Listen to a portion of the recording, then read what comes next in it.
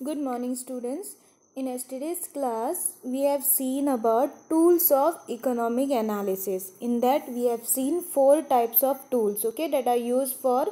uh, analysis of the economics. That is basically microeconomics, okay. Microeconomics के लिए कौन से कौन से एनालिटिकल टूल्स यूज़ करते हैं जो हम लोगों को अच्छे से डिटेल्स दे सके so first one was functional relationship okay direct और इनवर्स रिलेशनशिप फाइंड आउट करने के लिए हम लोग फंक्शनल रिलेशनशिप का यूज़ करते थे। Their demand function and supply function okay. Second हम लोगों ने देखा शेड्यूल ओके। शेड्यूल में हम लोगों ने देखा कि डिमांड और जो प्राइस है, वो कैसे इन्वर्सली इफ़ेक्ट करता है। When the price is more demand is less okay. When the price is less demand is more उसके बाद हम लोगों ने ग्राफ्स देखा। ग्राफ्स कैसे यूज़ होता है इकोनॉमिक एनालिसिस के लिए। And the last one which we saw was the equation okay उसके बाद हम लोगों ने basic concepts of business economics business economics के जो बेसिक कॉन्सेप्ट्स है, उसके बारे में देख लिया। तो हम लोगों ने क्या देखा? फ़र्स्ट क्या देखा? हाउस होल्ड का हाउस होल्ड मतलब क्या है? उसके बाद हम लोगों ने कंज्यूमर देखा। So today we are going to see the next concept of business economics okay so let's start अभी हम लोग द थर्ड कॉन्सेप्ट देखेंगे, वो है फर्म। ना you all must have learn what do you mean by firm आप लोगों को सबको पता है business firm then partnership firm okay joint stock firm तो आप लोगों ने बहुत सारे firm is basically what a business organization okay? जैसे कि लिमिटेड कंपनी ओके? और पार्टनरशिप फर्म या corporation which sells goods and services and what they make they basically make profit okay? And they it can be ये जो firm है it can be run by one or more person okay ऐसा नहीं कि सिर्फ़ one person ही करना चाहिए it can be run by more one or more person and it has physical establishment मतलब वो एक जगह पे रहता है। There is one identification number for this that is employer identification number it it is used, okay? Whenever it is owned by one owner, there is employer identification number, okay? जब भी कोई भी बिज़नेस हो, अगर उसको title में है, उसके टाइटल में फर्म वर्ड यूज़ करते हैं that means that business is associated with the practice law okay but yeah this ये जो है, ये जो पार्टनरशिप फर्म हो या बिज़नेस फर्म हो, ये मोस्टली किसके लिए यूज़ करते हैं? जैसे कि अकाउंटिंग के लिए, जैसे कि C A firm okay cost accountant firm C S firm then हम लोग ऑडिटर्स फर्म देन कंसल्टेंसी के लिए tax consultancy firm then graphic designing firm तो इसके लिए बहुत सारा ऑफन ये यूज़ होता है. So here will see the meaning of the firm in economics okay economics में इसका फर्म का मीनिंग क्या है? In micro economics the theory of firm attempts to explain why firm exist. Okay क्यों ये एग्जिस्ट होता है? Why they operate and produce as they do okay how they are structured so here basically firm is what they uh, this exists to the maximizing the profit okay ये जो firm है they basically what they do they maximize profit however this theory changes as ma economic marketplace change okay जैसे जैसे marketplace change होता है वैसे वैसे ये theory भी change होती है so here बेसिकली ये जो फर्म है what they do they work towards long term sustainability okay and those that aim to produce high level of profit in short term okay so this is the meaning of the firm in economy now firm differs by ownership ये जो firm है they are differ they are different when the ownership also changes now there is one type of a firm which which you all have learn आप लोगों ने पढ़ा भी है in your eleventh standard that is sole trading concern or sole proprietor or sole trader this is one type of a firm where in this business is owned by only one person a single person and who enjoys the profit also and who is liable for all the cost and obligations. Okay जो जो cost है, जो जो risk है obligations है that one person will be considered uh, उसको बोलते हैं one type of a firm the second type of a firm is a partnership firm ये आप लोगों ने ट्वेल्थ में पढ़ा था। आप लोगों ने ट्वेल्थ में पार्टनरशिप के बहुत सारे अकाउंट्स प्रिपेयर किए थे। So second one is partnership firm ना पार्टनरशिप फर्म में कैसा होता है? When two or more people running a business okay so that business is known as a partnership firm अभी ये कहाँ होगा? There is no limit for the partners okay यहाँ पे पार्टनर्स नहीं रहते पार्टनर्स को लिमिट नहीं रहता कि you should have only two partner three partner so there is no limit सब पार्टनर्स का जो भी प्रॉफिट होता है, वो डिवाइड हो जाता है। यू आर वेरी वेल आप लोगों को पता है कि how the partnership profit is calculated if there is loss how it is calculated तो आप लोगों को पता है कि पार्टनरशिप फर्म मतलब यहाँ पे जो जो पार्टनर्स है they will enjoy the profit as well as they will bear the risk okay liability भी सबको बेयर करनी पड़ती है। So this this is the second type of partnership firm that is the second type of a firm okay next is a corporation okay corporation मतलब yeah here the finance business financial are separate from the owners okay तो owner का जो finance है वो uh, का जो personal finance रहता है that is separate from the business finance the owner of the corporation जो भी ओनर है कॉरपोरेशन का that owner is not liable for any cost okay जो भी कॉस्ट है या जो भी टैक्सेस कुछ भी हो that person will not be liable because this is a corporation so this corporations are owned by whom they are owned by the individual or by the government जैसे कि रेलवे, ओके? रेलवे कॉरपोरेशन, एक corporation है, या अपनी what you called bus transport, okay? That is also corporation this is not own by एक person है. This are own by government or some private individual में also own it but ये जो loss है या कुछ भी हो that is bad by all the individuals okay? So this entity ये जो बिजनेस एंटिटी है corporation can function similar to the individual for examples ये जो कॉरपोरेशन है they may take loan also they can enter into contract agreement pay taxes okay so your a form that is owned by multiple people is often called as company also okay and the last one is the financial cooperative financial cooperative and corporation is different okay So financial corporative is similar to corporation in that its owner have in ये जो owner है, यहाँ पे उसकी limited liability रहती है। Now here why it is different from corporation because here people invest okay and have to say in the company operation ये जो जो investors है वो लोग इस company में क्या करेंगे they will invest so ये हो गया firm का meaning okay one concept we have learned that is firm now we will see about industry okay आप लोगों ने देखा होगा आप लोगों ने सुना है ये वर्ड इंडस्ट्री आप लोग क्या बोलते हैं? हम लोग आज इंडस्ट्रियल विज़िट के लिए गए। चिंचवाड़ की एम मतलब इंडस्ट्रियल एरिया है। हड़पसर की MIDC मतलब इंडस्ट्रियल एरिया है। So what do you mean by actually industry okay industry मतलब एक एक what you call it is an service or it is uh, some it is an uh, activity wherein they produce goods okay or related service with the, with with an economy economy जो economy में जो goods produce करते हैं या service provide करते हैं that is known as a industry the major source of revenue of a group or a company is a indicator of relevant industry okay तो uh,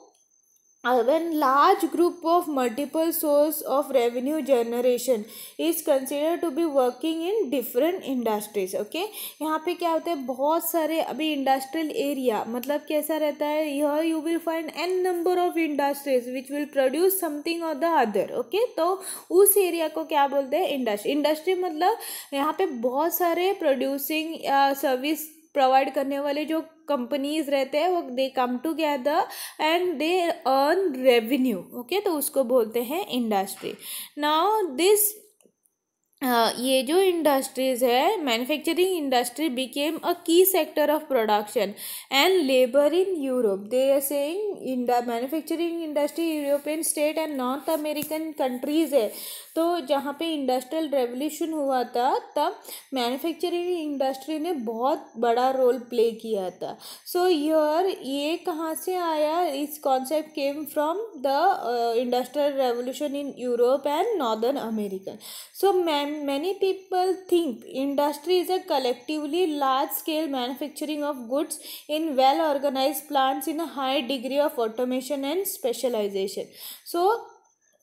यहाँ पे हम यहाँ पे क्या होता है? ना हम लोग एज आई टोल्ड यू यहाँ पे क्या है? They are were all this companies who ever producing goods and services they come together that area we call it as an industry now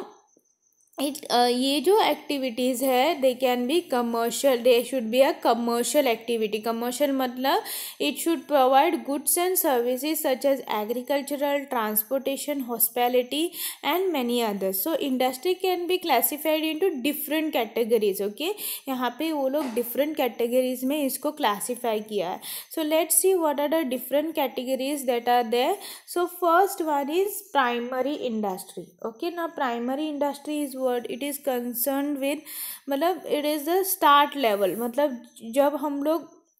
there are levels तो first level पे primary industry आती है। So this is concern with the production of goods with the help of the nature okay nature को nature से help लेके जब कोई produce करता है तो उसको प्राइमरी इंडस्ट्री बोलते हैं। जैसे कि यहाँ पे ह्यूमन का थोड़ा सा एफर्ट लगता है। जैसे कि हम लोग एग्रीकल्चर या कुछ फ़ार्मिंग करते हैं, या हम लोग नर्सरी है ओके जिसकी प्लांट्स की नर्सरी नहीं तो फॉरेस्ट्री फिशिंग हॉर्टिकल्चर या जैसे कि कोई कोई लोग गेहूँ उगाते हैं वेजिटेबल्स ये करते हैं, उगाते हैं so these all are word primary industry so they are related they are connected more to the nature यहाँ पे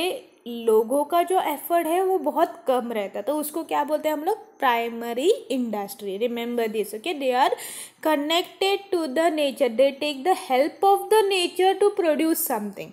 okay जैसे कि गेहूँ प्रोड्यूस करने के लिए we take the help of the nature we can not produce it like that only without the help of the nature okay next is genetic industries genetics genetic मतलब ये जो इंडस्ट्री है they are engage in reproduction and multiplication of certain species of plant animal with object for sale जैसे कि poultry या plant की nursery हो, या कैटल रेयरिंग हो कैटल बेयरिंग हो सॉरी कैटल ब्रीडिंग हो, ये सारी चीज़ें क्या है? They are multiplying why they are multiplying with the aim of making profit जितना उसका प्रोडक्शन ज़्यादा होगा they will earn more so those are known as genetic industries next is extractive industry. Extractive industry is what drawing goods from soil, air or water. Okay, जैसे कि petroleum is an extractive industry और अगर हम लोग क्या बोलते thermal energy create कर रहे हैं या न्यूक्लियर एनर्जी क्रिएट कर रहे हैं then also it is an extract so यहाँ पे क्या होता है दे टेक दे ड्रॉ और they extract goods from soil air और water okay generally products of effective industry are incomes in the form of raw material ये क्या होते हैं? They are in the form of raw material as you all know जैसे कि mining industry हो coal industry हो iron और industry हो, नहीं तो एक्सट्रैक्शन ऑफ़ टिम्बर हम लोग टिम्बर झाड़ को कट करके जब हम लोग वुड निकालते हैं, या rubber from the forest forest okay they are not मतलब जैसे निकाला हम लोग यूज़ नहीं कर सकते। We have to what we have to हम लोग उसको फिनिश प्रोडक्ट के लिए और उसको प्रोसेस करना पड़ता है। So naturally this extractive industry what they do they just give the raw material जैसे कि आयन और कोल माइनिंग ये सारे क्या आते हैं? Just a raw material and to finish the product we have to process it more petroleum जैसे हम लोगों ने एक्स्ट्रा किया तो वो पेट्रोल हम लोग यूज़ कर सकते हैं? No okay so that is the uh, that is the uh, meaning of extractive industry after that you have manufacturing industry now manufacturing industry में क्या होता है here you transfer the raw material into finished product okay in manufacturing industry they are mostly engaged in what transferring the transforming the raw material into finished product with the help of machines or manpower okay the finished product can be either consumer goods or producer goods okay? Example textile chemicals sugars industry paper industry etc next is construction industry now construction industries are what they are mostly involved in the work of construction जैसे कि bridge को construct करना building को construct करना roads dams canals okay this industry are mostly engaged in doing the work of construction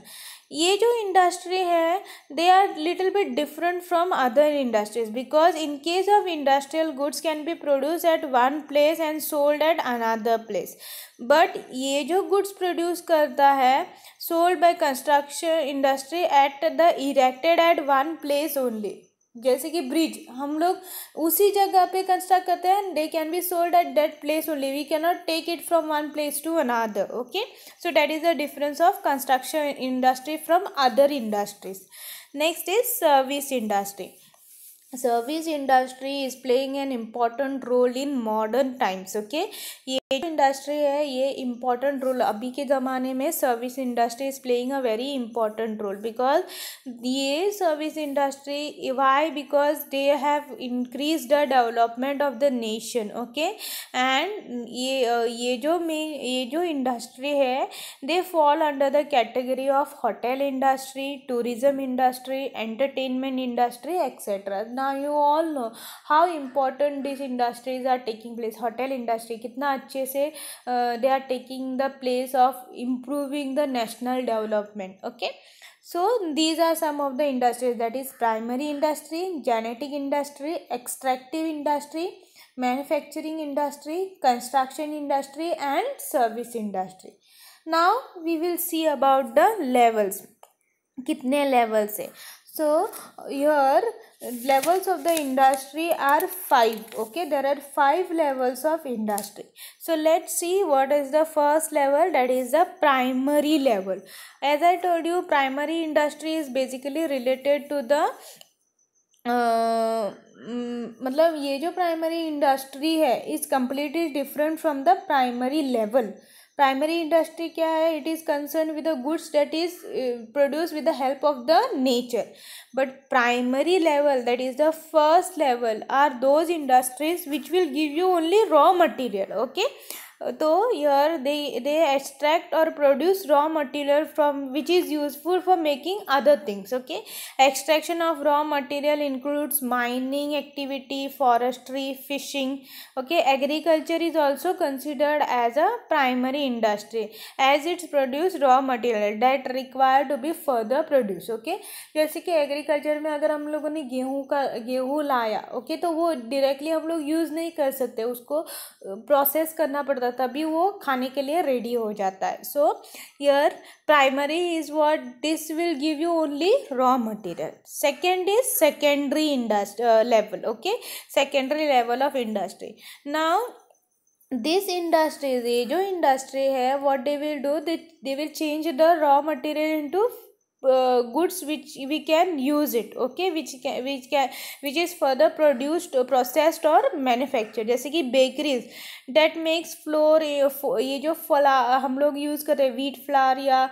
maida okay so they will consider they will change the wheat flour or maida into bread okay or other factories that change metal or plastic into vehicles for example they are known as in the secondary industries okay now the term value added is sometimes applied to process and manufactured items since they change the raw material into goods which we can use it okay उसको value add किया जाता है जैसे कि अगर हम लोगों को बोला take this flour and uh, think that this is bread and you eat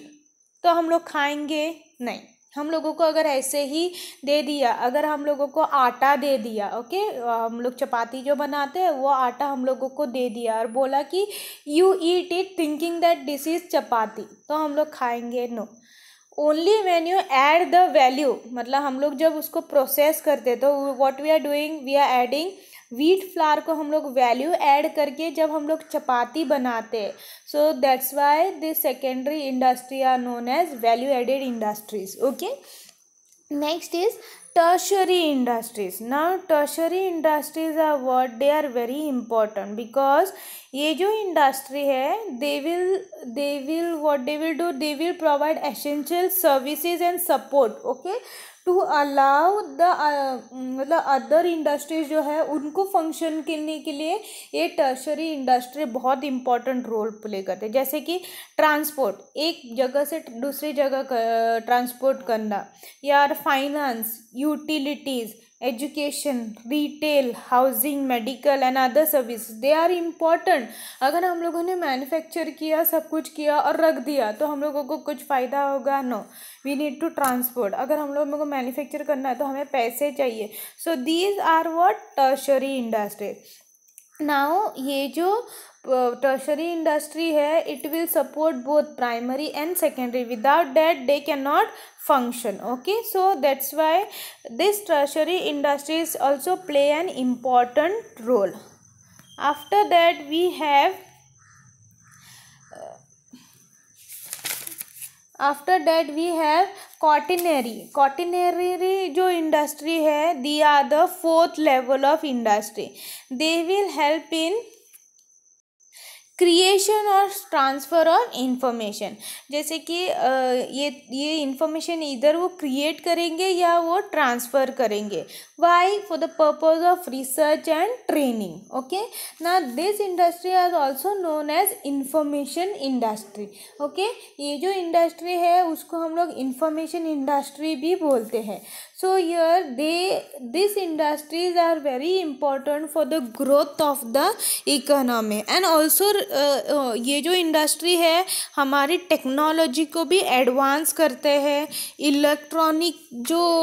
display है और ये transmission of information that is also very important then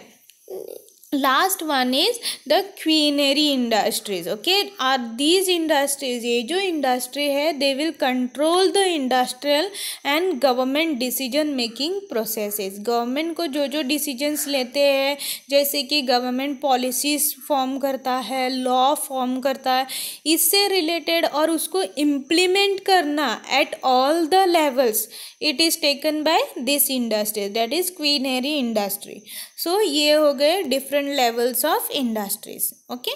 next we will see the meaning of plant plant is what it is an integrated work place okay usually all in one location okay जैसे कि plant हम लोगों ने जैसे कि जिंदाल का steel plant नहीं तो पेट्रोलियम एक्सट्रैक्ट प्लांट, यहाँ पे क्या होता है, सारे जो एक्टिविटीज़ रहते हैं, वो एक ही जगह पे रहते हैं, ओके? सो, हियर ये जो इंडस्ट्री है, उसको बहुत बड़ा कैपिटल लगता है, okay? And they have buildings and equipment at a particular location, and this ये जो प्लांट है what they will do they will produce goods and goods which are require and basically ये जो प्लांट है, उसको other word क्या है? Factory now will see some of the plant. First one is power plant power plant मतलब they generate electricity अभी ये आप लोगों ने शायद कहीं भी भी मतलब you are must have seen in TVs and all और आप लोगों ने नहीं तो न्यूज़ में देखा, या आप लोगों ने कहा तो मतलब एक टाइम तो कहाँ तो देखा होगा कि पावर प्लांट कैसे रहते हैं? They have big big poles okay उनके पावर इलेक्ट्रिसिटी के पोल्स रहते हैं and there is something on the other process going on so that there is generation of electricity या ये जो पावर स्टेशन है, उसको हम लोग पावर स्टेशन भी बोलते हैं ओके ना this power station they have to be at one place also okay so your factory where goods are manufacture a power plant is a physical location where utilities are generated okay हम लोग electricity use करते हैं so those are known as utility जैसे power plant रहते हैं, वैसे ही दूसरे पावर प्लांट्स भी रहते हैं। ना फॉर एग्ज़ाम्पल नाउ अगर हम लोगों को इलेक्ट्रिसिटी जनरेट करना है what they do they use all the fossil fuels जैसे कि oil coal natural gas they will use otherwise अगर वो लोग थर्मल एनर्जी यूज़ कर रहे हैं तो उसके बड़े बड़े डोम्स रहेंगे they will be more number of what you called poles okay dome बहुत सारे जैसे जितने डोम रहते हैं, उतनी ज़्यादा इलेक्ट्रिसिटी जनरेट होती है। अगर वो लोग हाइड्रो इलेक्ट्रॉनिक्स मतलब हाइड्रो इलेक्ट्रिक मतलब अपने वाटर से अगर वो लोग करना चाहते हैं then they will be big big dams dams के पीछे उनका पावर प्लांट रहता है way the electricity is generated when the water falls from the dam, वो टर्बाइंस जो अंदर लगे होते हैं डेट टर्म टर्बाइन स्पिन करना स्टार्ट होते हैं उसके बाद क्या होता है? There is electricity generation all in Pune also there are some dams which generate electricity तो उसके पीछे there will be a big electricity plant तो उसको क्या बोलते हैं? Power plant next we have economies of plants okay the economics of plant now the industrial plant are defined as entities devised for the purpose of manufacturing processing assembling or packaging of goods articles or raw material now this plant ये जो plant है it is sometimes interchanged with the word business or a firm okay but plant plant or factory is a sole subject of economic study okay it, you cannot take it as a firm or a business now power plant jo hai which will generate what which will generate power for the industries okay they are very important so here economics में plant plays an different role ऐसा नहीं कि business और firm को हम लोग plant बोल सकते so here ये जो इकोनॉमिक्स जो है they will be interested in economies of the plant in term of industrial structure और organisation okay so this mind include an analysis of plant in terms of pricing decisions plant को लेके हम लोग pricing decisions ले सकते हैं industrial grouping vertical integration and even public policy affecting those plants of their business so plant also hold relevance in the economic study as a physical center of manufacturing the cost of which is very मतलब इसका जो cost है it is very high and plant को अकेले consider करके your economics do the study okay and they will form some policies So here plant is very important so here although plant themselves okay are not always a primary subject of economic study they are the center of real world economic concern okay so हम लोगों ने कितने देखे we have seen what we have seen economics के कौन से कौन से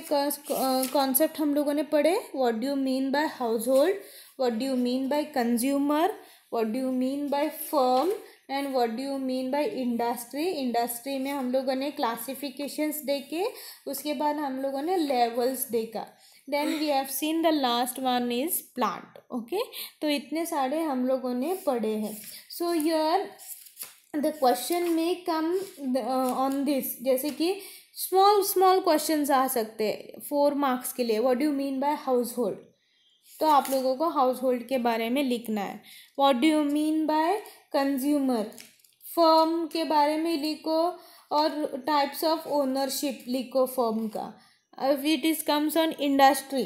industry के बारे में लिखो या क्लासिफिकेशन लिखो और लेवल्स लिखो, ऐसे भी आ सकते हैं। It may come for a big question. Explain what you mean by industry and also write in details about classification और टाइप्स ऑफ़ इंडस्ट्रीज़ और लेवल्स ऑफ़ इंडस्ट्रीज़। इसके बारे में आ सकता है। Then what do mean by plant? Okay, plant का मतलब क्या है? तो आप लोगों को पावर प्लांट के बारे में लिखना है। एंड इकोनॉमिक्स में प्लांट का क्या इम्पोर्टेंस है? The economics of plant